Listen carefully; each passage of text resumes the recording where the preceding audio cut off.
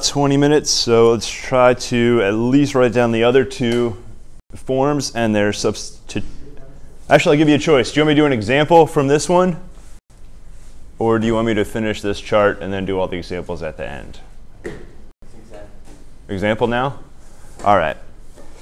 So this will be segmented, so we'll do our first example down here. Let me make sure I pick the right one. So we're going to integrate that square root.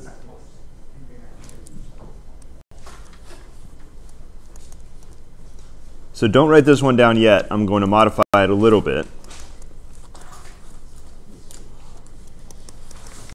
Could you integrate this? You can integrate this form, right? It just turns into one of those inverse trig or inverse hyperbolic trig. So I'm going to write the same term but in a different form. Can you integrate this?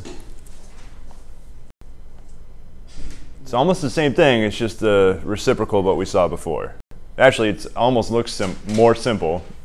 However, we don't really know how to integrate it.